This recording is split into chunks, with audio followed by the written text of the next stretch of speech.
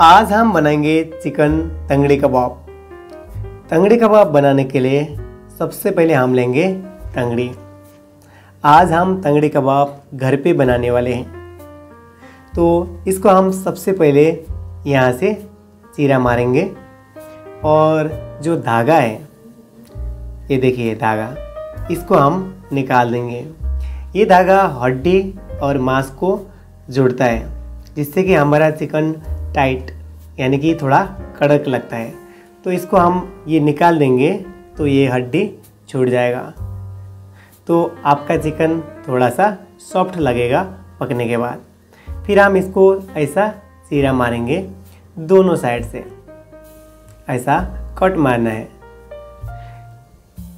और हम दूसरा तंगड़ी को भी सेम इसी प्रकार से काटेंगे।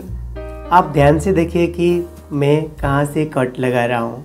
ये देखिए धागा। ये धागा को हम ऐसे करके थोड़ा सा खींच के हम निकाल देंगे। और फिर इसमें भी हम ऐसे ही कट मारेंगे। यानी कि गहरा सीरा मारेंगे और अच्छे से क्लीन करेंगे। अभी क्लीन करने के बाद अभी हम इसको करेंगे मैरिनेट।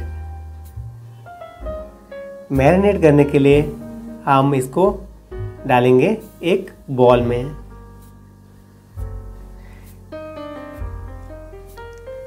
बॉल में डालने के बाद हम इसमें अभी ऐड करेंगे हमारा ब्लैक सॉल्ट और रेगुलर सॉल्ट।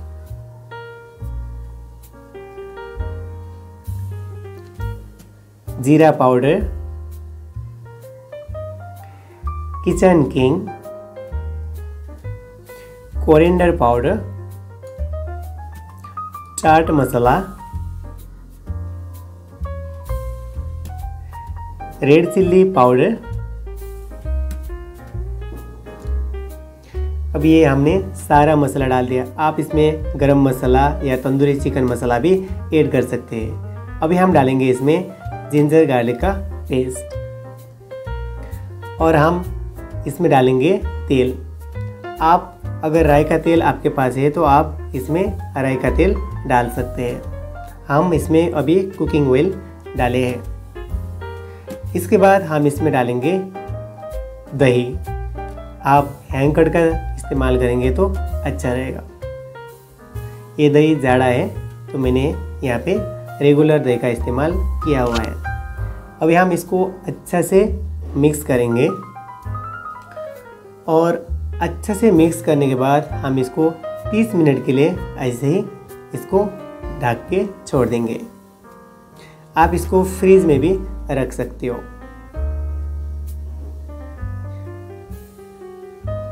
और हम इसमें ऐड करना भूल गए नींबू। तो अभी हम इसमें ऐड कर रहे हैं नींबू।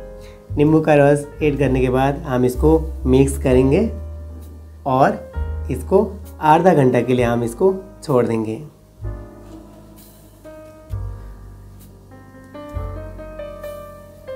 आधा घंटा बाद हम एक पैन में बटर डालेंगे।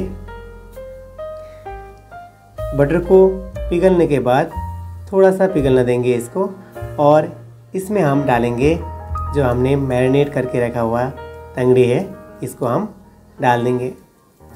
ये देखिए, इस तरह से अच्छा से मसाला लगा के हम इसको अभी पैन में डाल देंगे। आप ऐसे ही करके दूसरा भी तंगड़े को अपना पैन में ऐसे ही डाल दें।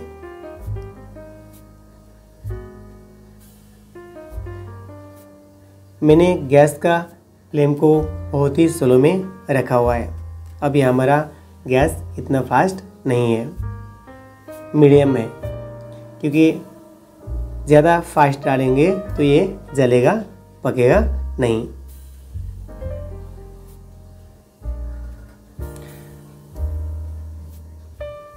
हम इसको तीन चार मिनट पकने के बाद फिर दूसरा साइड से पलटी करके पकाएँगे। इसको टोटल पकने में 12 से 14 मिनट का टाइम लग जाता है। इसको आप आराम आराम से पलटी करें और हर तरह से पकाते रहें। और मसाला जो भी फैलता है, उसको आप एक कट, एक कट्ठा करते रहें। अभी देखिए हमारा तंगड़ी कबाब पकना लगा हुआ है।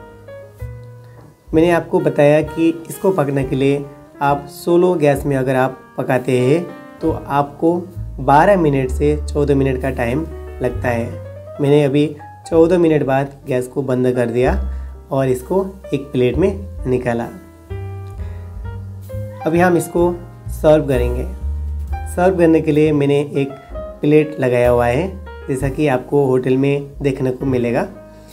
आप रेस्टोरेंट में जाते हो तो इसी तरह आपको सजा के भेजते हैं राइट तो आप घर पे भी ऐसा बना के खा सकते हो। आज आपने सीखा कि तंगड़ी कबाब घर पे कैसे बना सकते हैं। अगर अभी तक आपने हमारा चैनल को सब्सक्राइब नहीं किया तो प्लीज़ चैनल को सब्सक्राइब कीजिए और बेल आइकन को दबाइए। वीडियो देखने के लिए बहुत बहुत शुक्रिया। घर पे इसको ट्राई कीजिए और आपको कैसा लगा, ज़रूर कमेंट बॉक्स में लिख के भेजिए।